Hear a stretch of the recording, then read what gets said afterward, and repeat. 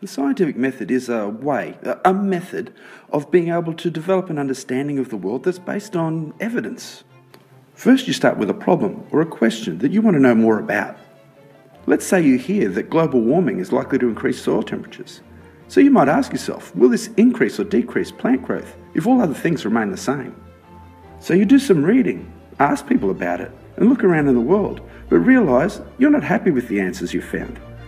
You think to yourself, wait a sec, I'm not prepared to make a decision on this. I don't have enough evidence. But you do know enough to speculate about what's probably happening, so you make a hypothesis. A hypothesis is simply an educated guess about what's likely to happen. It's a prediction about what you think will occur. An hypothesis usually contains the words if and then.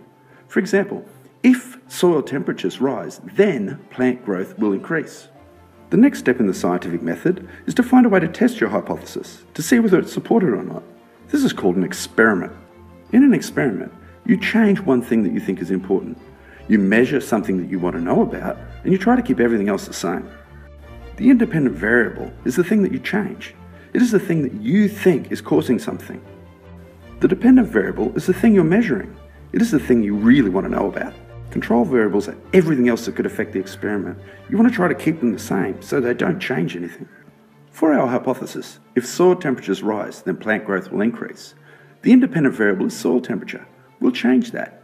The dependent variable is plant growth in millimetres. We'll measure that one. And control variables are things like water, sunlight, the type of soil. We'll try to keep them the same so they don't have any effect. The next thing we'll do is create a method or procedure, and we'll write this down in enough detail that other people can do it exactly the same way if they wanted to. It's also a good idea to plan to repeat your experiment, so it's unlikely that the things that you find have happened by chance. This is called doing multiple trials. Now comes the fun part. Do your experiment. Make sure to follow your method really carefully though.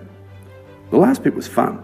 This bit I think is exciting. This is where you analyse your results to see whether your hypothesis has been supported or not.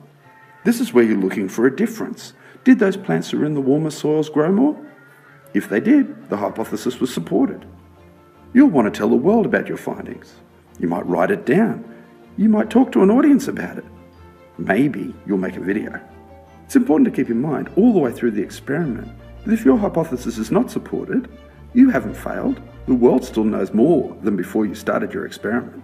The scientific method really isn't that complicated. All you need to do is start with a question that you want answered. Observe things in the world that already tell you about that.